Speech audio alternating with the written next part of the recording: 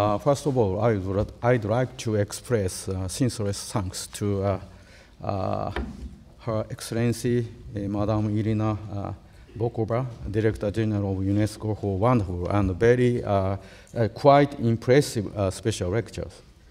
this year, in addition to uh, Shishukan, Graduate School of Advanced Leadership Studies program, as just the student said, Eh, and uh, global survivability studies uh, in, eh, intergraduate school program coordinated by Professor Takara. two new uh, leading graduate school programs have been approved by Japanese government. Uh, these uh, programs cover new interdisciplinary field. One is uh, the medic medicine engineering uh, combined educational program called a Training Program of Leaders for inter, uh, Integrated Medical System for Fruitful, Healthy uh, long, uh, Longevity Society. And the other is the uh, Leading Graduate School Program for Innovative Information Design Studies.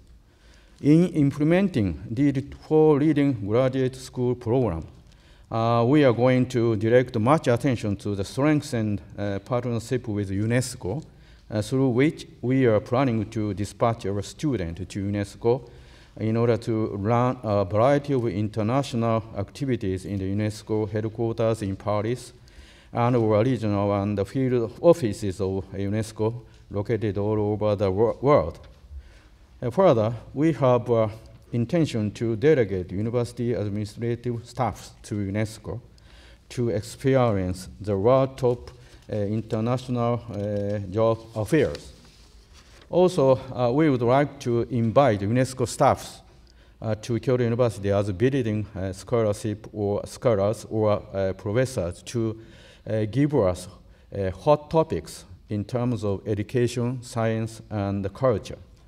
these action works to further activate the international activity of Kyoto University. I believe our collaboration uh, between two organizations will contribute to uh, promotion of advanced educational systems and to the uh, harmonious coexistence of the world. Uh, Madam Bokova said in her speech, we live in a new age of limit in terms of uh, resources, in terms of our planet.